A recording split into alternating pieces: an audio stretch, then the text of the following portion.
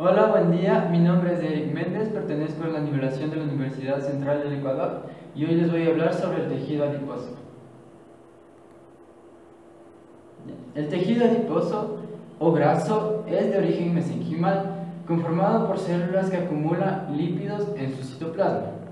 Estas células se denominan adipocitos.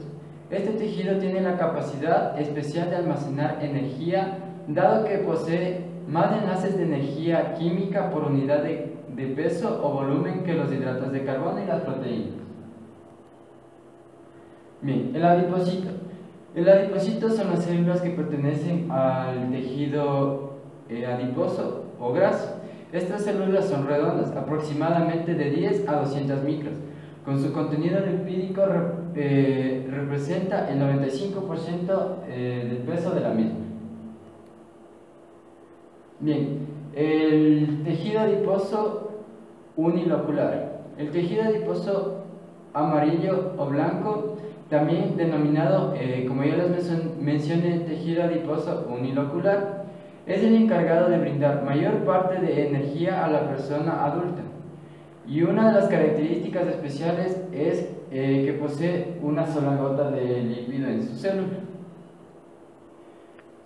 Eh, el color de esta célula dependerá de la alimentación que, mantengamos en, que, mantenga el humano. Eh, el tejido adiposo unilocular eh, será amarillo debido a los carotenos y diferentes sustancias adicionales. Bien, adicionalmente se distinguen escasas organelas en la célula.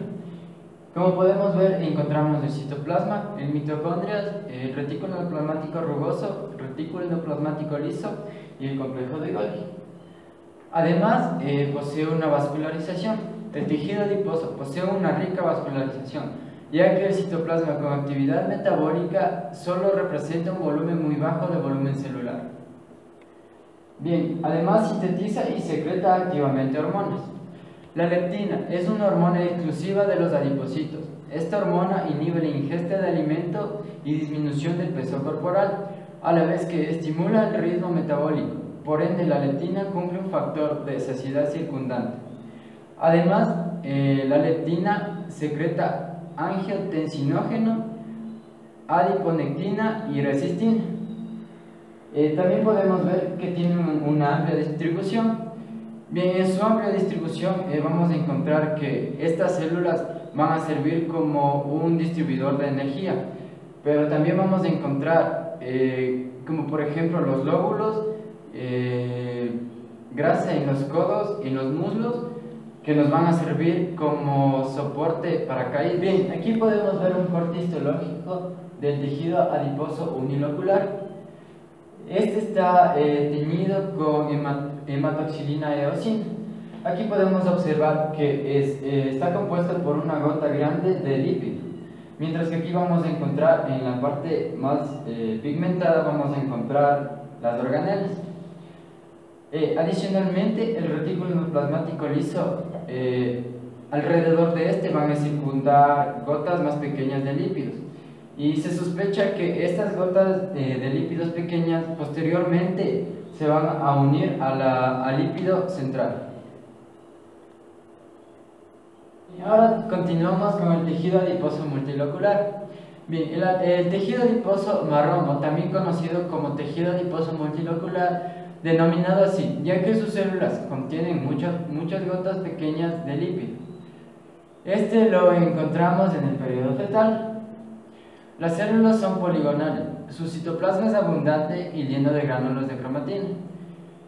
Eh, además, en este citoplasma vamos a poder distinguir grandes mitocondrias redondas y sus demás organelas se van a encontrar poco desarrolladas. En el escaso tejido conectivo se distinguen muchos más capilares que en el tejido adiposo blanco, ya que su irrigación sanguínea es, es muy rica. Su color marrón se debe a un gran contenido de cinetocoros de las mitocondrias.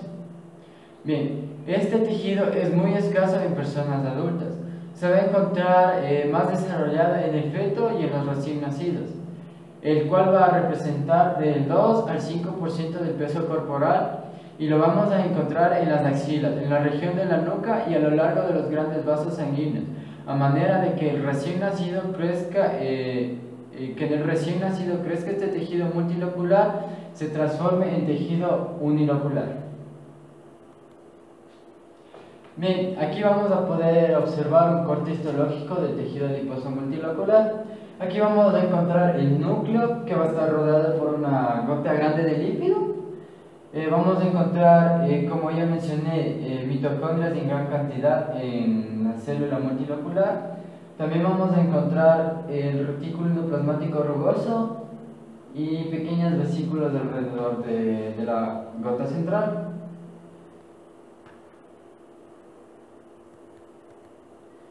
Y bueno, eso ha sido todo. Eh, y muchas gracias por su atención.